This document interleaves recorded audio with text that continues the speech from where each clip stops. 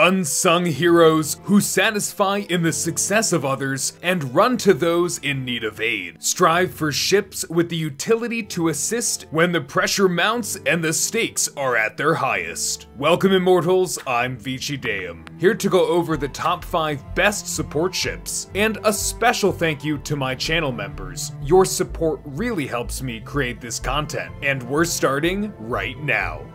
Number 5. Starfarer. This dedicated workhorse refueler has everything you need to keep the engines burning and your journey running without a hitch designed to take in spaceborne gases and refine them internally to then store, supply, and sell to any pilots in need of a top up or running empty in space. The Starfarer is the ship you need if you desire saving any stranded, while Stanton has ample infrastructure to support numerous space stations. Other systems like Pyro are much more sparse and incur significantly greater risks if stranded, like piracy, damage from solar flares, and other hazards that could potentially cost you precious time or even your life. For these reasons, the Starfarer is number 5.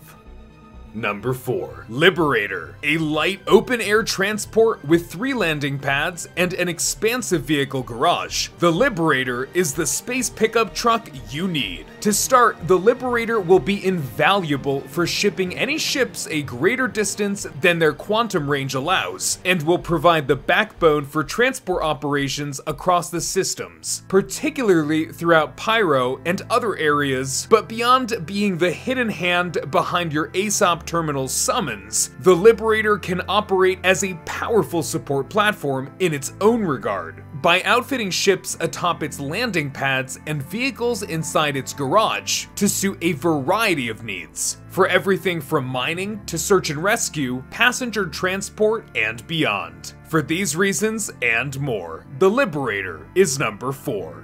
Number 3. Vulcan the Swiss Army knife of spaceships. This ultra versatile support ship is capable of refueling, repairing, and rearming other vessels designed to provide support in scenarios including assisting friendly pilots pinned down by heavy fire and in need of ammunition, to those low on quantum fuel after an ill-planned jump, or any unfortunate souls stranded in uncharted space. Accomplishing this Herculean feat are four internal BARD drones, two of which can operate at any given time, to help support wherever it's needed most. The Vulcan is rugged, reliable, and ready for anything. For these reasons, the Vulcan is number 3.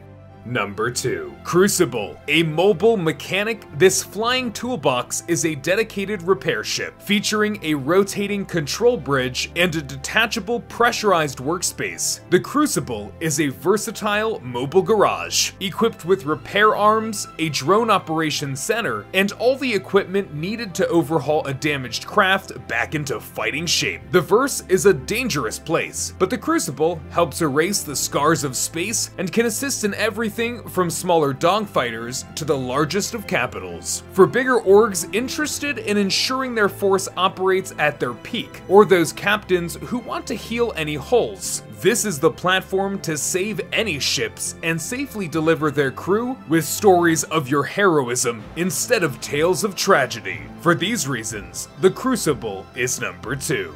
Number 1.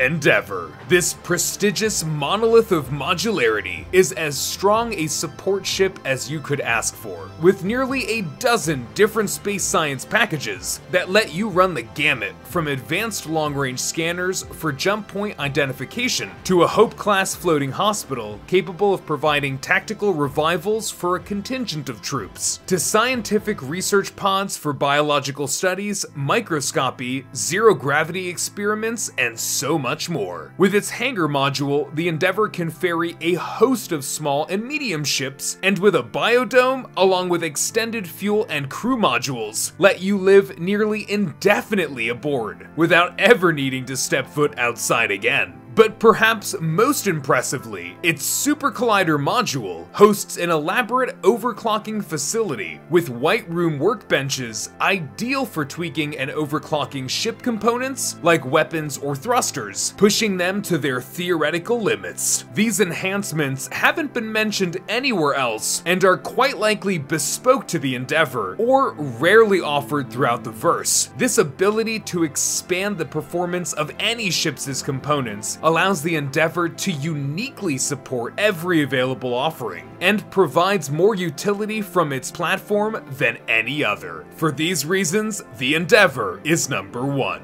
But which ship would you pick? I've long sung the praises of the Endeavor and think it's just as strong a support ship, although the Vulcan's utility for its footprint cannot be overstated. It can support almost everything. But what do you think? I'd love to hear from you in the comments below. And a special thank you to Starjump for their amazing footage. And if you liked this video, here's another I think you'd enjoy. Or if you want to watch more of these videos, here's the playlist. Either way, thank you, and I look forward to seeing all of you out there in the verse.